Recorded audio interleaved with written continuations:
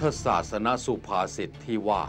เยธรรมาเหตุปะปะภวาเตสะ เหตะตถาคโต เตสัญจะ โยนิโรโท เอวะวาที มหาสมโน แปลความว่า ธรรมะเหล่าใดเกิดแต่เหตุ พระตถาคตตรัสเหตุแห่งธรรมะเหล่านั้น และความดับแห่งธรรมะเหล่านั้น เมื่อพระมหาสมณะทรงสั่งสอนเช่นนี้ อุปติสสะได้ฟังแล้ว เกิดธรรมจักสุข ดวงตาเห็นธรรมว่า สิ่งใดสิ่งหนึ่งมีความเกิดเป็นธรรมดา สิ่งนั้นทั้งหมดย่อมต้องมีความดับเป็นธรรมดา อันเป็นแนวทางแห่งธรรมะของสมเด็จพระสัมมาสัมพุทธเจ้าที่ทรงสั่งสอนพุทธศาสนิกชน ให้ยึดถือปฏิบัติ เพื่อไม่ตกเป็นทาสแห่งกิเลส ความโรค ความประมาท ซึ่งหลักธรรมคำสอนนี้นั้น ได้ถือเป็นหลักปฏิบัติอันสำคัญ อย่างเคร่งครัดของพระเกจิอาจารย์ผู้เรืองนาม แห่งเมืองโคราช เมืองที่เป็นประตูสู่ภาคตะวันออกเฉียงเหนือของไทย จังหวัดนครราชสีมาที่นี่เป็นที่ปฏิบัติธรรมของหลวงพ่อพระเกจิอาจารย์ ผู้มีความเมตตาธรรมสูง มีความเป็นสมถะสงบเสงี่ยมเรียบร้อย ที่สาธุชนชาวพุทธจากทั่วประเทศ เดินทางหลั่งไหลให้การศรัทธาอย่างแรงกล้า และรู้จักท่านในนามของหลวงพ่อเสาติดสปัญโยพระครูอุดมศิลาพรแห่งวัดกุดเวียนตำบลบุ้งขี้เหล็กอำเภอสูงเนินจังหวัดนครราชสีมา ซึ่งแต่เดิมทีนั้นหลวงพ่อเสาท่านไม่ได้เป็นคนจังหวัดนครราชสีมาแต่อย่างใด แต่ด้วยวัตรปฏิบัติที่ขาวสะอาดปราศจากการยึดติดในวัตถุใด ๆ จึงเป็นพระเกจิอาจารย์ที่น่ายกย่องเลื่อมใสอีกท่านหนึ่งแห่งเมืองโคราช จังหวัดนครราชสีมา และก็เป็นที่เคารพของลูกศิษย์ลูกหาทั่วประเทศ และเส้นทางสู่ร่มกาสาวพัดของหลวงพ่อเสานั้นจะเป็นมาอย่างไร รายการเปิดบันทึกตำนานในวันนี้ หลวงพ่อเสาท่านก็ได้เล่าให้ฟังด้วยตัวของท่านเองว่าอยู่ที่จังหวัดศรีสะเกษอำเภออุทุมพรจังหวัดศรีสะเกษโยมบิดามารดาไม่ทราบชื่อมาเลยครับบิดาชื่อวันคครับำคำ มารดาชื่ออุมาครับนามสกุลชัยพันธ์ครับปฐมวัยก็เรียกว่าได้ศึกษาอยู่ในโรงเรียนวัดบ้านเมืองหลวง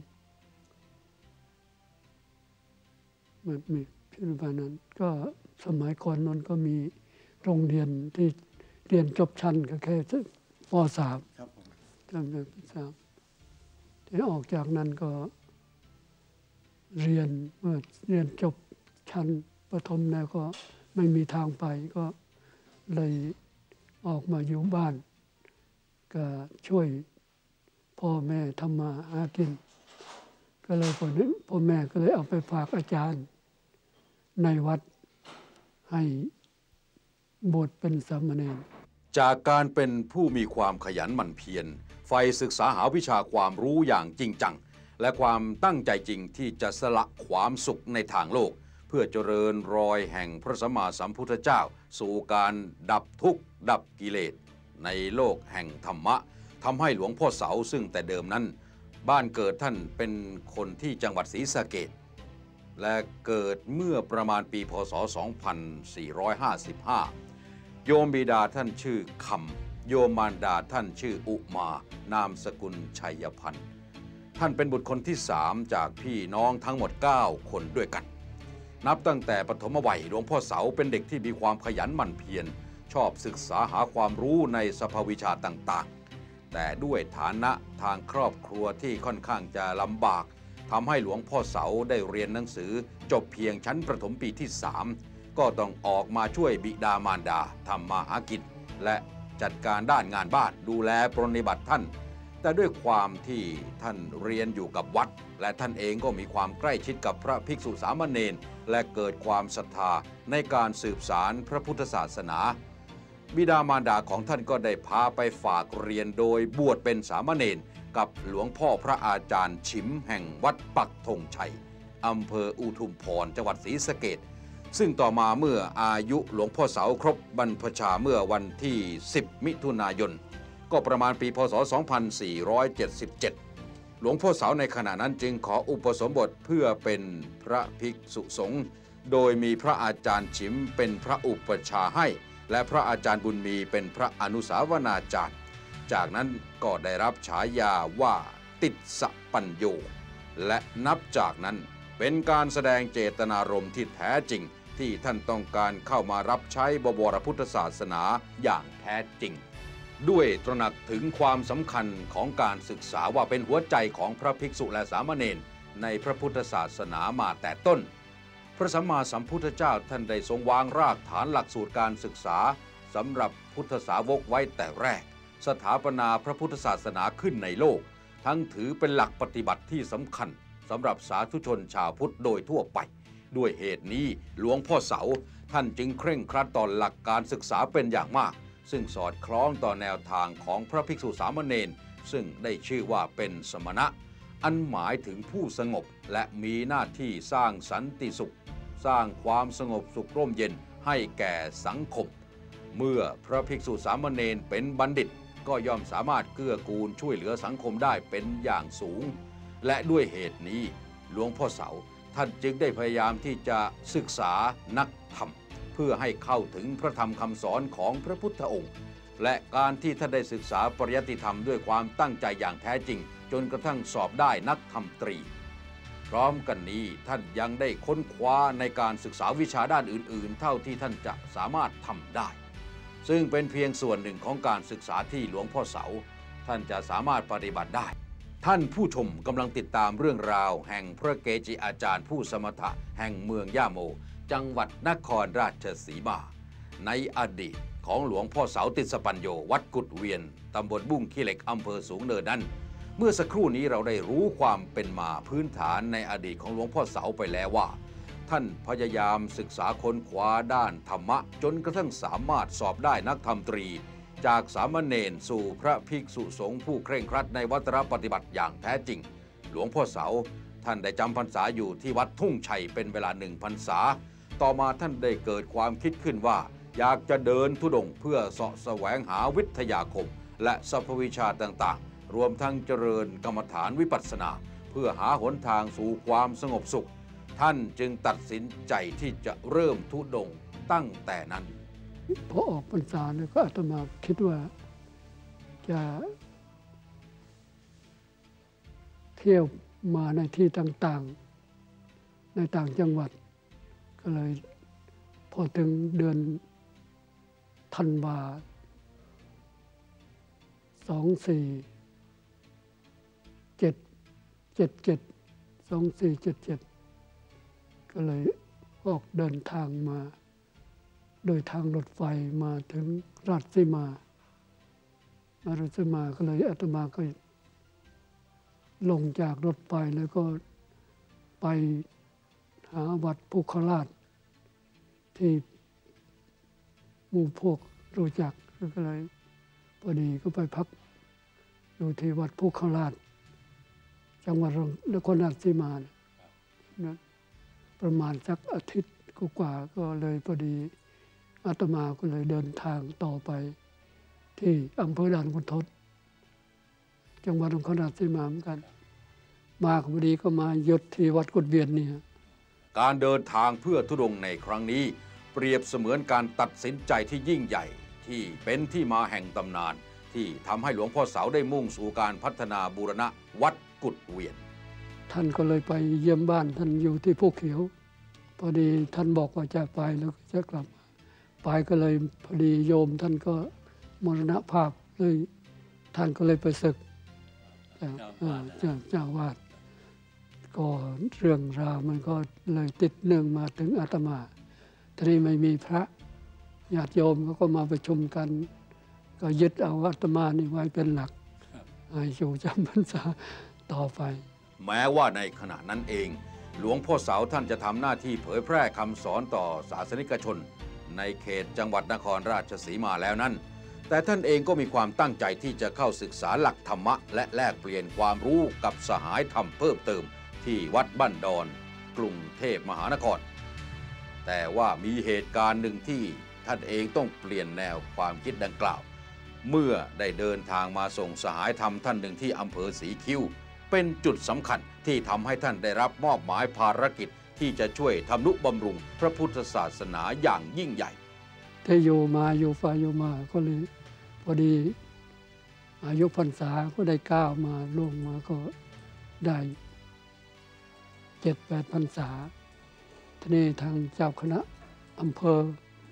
ก็พอดีบังเอิญในอำเภอในตำบลบุงขี้เหล็กนี้ ก็ไม่มีผู้ปกครองอ่าตำบล ก็เลยเอองค์เก่าเขาก็ศึกลาสิกขาไปแล้วเลย เป็นตำบลที่ว่างจากการปกครอง ก็เลยเขาก็เรียกตัวไปก็เลยไป แต่งตั้งขอแต่งตั้งให้ เมื่อพื้นที่ดังกล่าวนั้นขาดพระผู้ทำหน้าที่ปกครอง เจ้าคณะตำบลต่างก็ลงความเห็นกันว่า หลวงพ่อเสาเป็นพระที่มีความเหมาะสม และขอให้หลวงพ่อเสาเข้ารับตำแหน่ง และทำหน้าที่ดูแล ตั้งแต่ประมาณปีพศ 2488 และขอแต่งตั้งหลวงพ่อเสาให้เป็นพระอุปัชฌาย์นับตั้งแต่นั้นมา ซึ่งประมาณปีพศ 2490 ต่อมาท่านก็ได้รับเลือกให้เป็นเจ้าอาวาสในปีพศ 2507 ด้วยความที่หลวงพ่อเสา ท่านเป็นพระเกจิอาจารย์ที่มีความรอบรู้สรรพวิชาต่างๆ จากที่ได้มีโอกาสศึกษา ร่ำเรียนมาจากพระเกจิอาจารย์หลายท่านนั้น และท่านเองเป็นผู้ปฏิบัติเคร่งครัดอยู่ในวัตรปฏิบัติที่ขาวสะอาด และมีความเลื่อมใสศรัทธาอย่างแรงกล้าต่อหลักธรรมคำสอนขององค์พระสัมมาสัมพุทธเจ้านั้น ท่านจึงทำหน้าที่เผยแพร่คำสอนของพระพุทธศาสนาต่อประชาชน เพื่อให้ประพฤติปฏิบัติตนเป็นคนดีอย่างสม่ำเสมอ จนได้รับเลื่อนสมณศักดิ์เป็นพระครูชั้นตรี นามว่า พระครูอุดม ศิลาภรด้วยหลักธรรมประจำใจที่ท่านมุ่งสอนให้สานุสิทธิ์ยึดไว้เป็นแนวทางสำคัญในการดำเนินชีวิตนั้น คือการเป็นผู้ที่รู้จักการทำสมาธิ ทำใจรวบรวมเพื่อให้เกิดปัญญา อันเป็นแนวทางตามพระธรรมคำสอนในสมเด็จพระบรมศาสดาสัมมาสัมพุทธเจ้า ที่ทรงรู้แจ้งด้วยพระองค์เอง ถูกตรงทุกประการ และทรงมีพระกรุณาแสดงไว้ให้แก่โลก เพื่อพาสัตว์โลกทั้งหลายให้พ้นทุกข์ของตามหลักไตรสิกขา นั่นคือรักษาศีล สมาธิ ปัญญา อันเป็นการเรียนรู้เพื่อคุ้มครองทั้งกาย วาจาใจ เจริญปัญญา เพื่อละทิ้งกิเลส เป็นสิ่งหนึ่งที่หลวงพ่อเสาได้สั่งสอนให้กับลูกศิษย์และสาธุชนที่เกิดแรงศรัทธาต่อท่าน เรื่องราวของการบูรณะสร้างวัดกุดเวียน แห่งตำบลบุ้งขี้เหล็กอำเภอสูงเนิน จังหวัดนครราชสีมาหลังจากที่เราท่านได้ทราบเรื่องราวความเป็นมาของหลวงพ่อเสาติสปัญโย หรือพระครูอุดมศิลาภรพระเกจิอาจารย์แห่งวัดกุดเวียน ตั้งอยู่ที่ตำบลบุ้งขี้เหล็กอำเภอสูงเนิน จังหวัดนครราชสีมา นับตั้งแต่ยาว์วัยจนกระทั่งถึงท่านได้รับตำแหน่งเจ้าอาวาสที่วัดกุดเวียนแห่งนี้แล้วนั้น จะเห็นได้ว่าท่านหลวงพ่อเสา ท่านเป็นพระเกจิอาจารย์สายปฏิบัติที่เคร่งครัดต่อหลักธรรมคำสอนขององค์พระสัมมาสัมพุทธเจ้าเป็นอย่างมาก และที่สำคัญท่านเป็นพระเกจิอาจารย์ตัวอย่างในด้านความภาคเพียรพยายาม ที่เมื่อครั้งท่านเริ่มเป็นเจ้าอาวาสนั้น วัดกุดเวียนมีสภาพเป็นเพียงวัดเล็กๆ ที่ชำรุดทรุดโทรมมาก ถนนหนทางสัญจรเข้าสู่วัดก็พังทลาย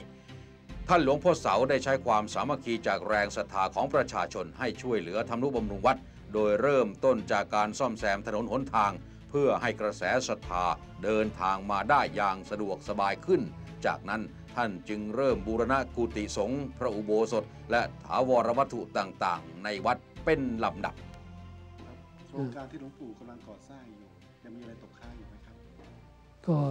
เรียบก็มีเรียบร้อยตัวอย่างจังหวัดยังตกค้างแต่กำแพงทำเอ่อมาก็เลยพอดีก็เลยมาชะงัก ก็เลยยังค้างอยู่ทางด้านนี้อ๋อกระดานนี้ใช้งบประมาณเท่าไหร่ครับงบประมาณนี้มันตกไอ้เฉพาะที่ที่สร้างกำแพงวัดก็หมดไป สามแสนกว่าจำเป็นเป็นแสนกว่าก็ที่นอกจากนั้นก็พวกโบสถ์นี่ก็ ดูมันเป็นสองแสนสมัยก่อนนะสมัยโน้นแล้วราคาที่หลวไม่งปู่บอกว่าเอ่อสร้างกำแพงยังตกค้างนี่ยังขาดปัจจัยอีกเยอะไหมครับแล้วปัจจัยก็